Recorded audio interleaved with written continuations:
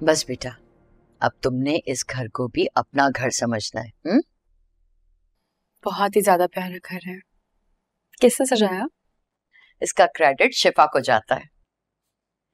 ये तुम्हें जो भी कुछ नज़र आ रहा है ना ये सब कुछ मेरी बेटी शिफा ने किया है। वाह शिफा अमेजिंग थैंक यू अच्छा तुम लोग बैठो मैं खाना लगवाती हूँ ना। भूख लग रही होगी। हाँ मामा मेरे लिए प्लीज़ कॉफ़ी वरिशा तुम पियोगे कॉफ़ी नहीं मैं मैं कॉफ़ी नहीं पीऊँगी थैंक यू मुझे बस पानी दे दीजिएगा। मैं पानी भी भिजवाती हूँ लेकिन कॉफ़ी नहीं पीनी है अभी। खाने के बाद। ओके सलमा?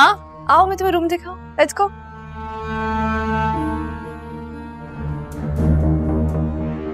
मैं वरीशा को लिए बिना यहाँ से नहीं जाऊँगा। कहाँ है वरीशा वरीशा कहाँ है वरीशा वरीशा वरीशा देखो मेरी बात मैं आ गया हूँ, तुम्हें अब रोने की ज़रूरत नहीं। मैं तुम्हें यहाँ से लेकर ही जाऊँगा।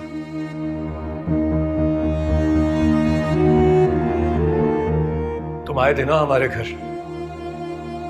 उस दिनों की तरह धमकी लगा कर गए थे जब हम वहाँ मौजूद नहीं आज मैं तुम्हारी आँखों के सामने तुम्हारे ही घर में खड़ा हूँ वरीशा का हाथ थामे, उसे यहाँ से लेकर जाऊँ। रोक सकते हो तो रोक। चलो वरीशा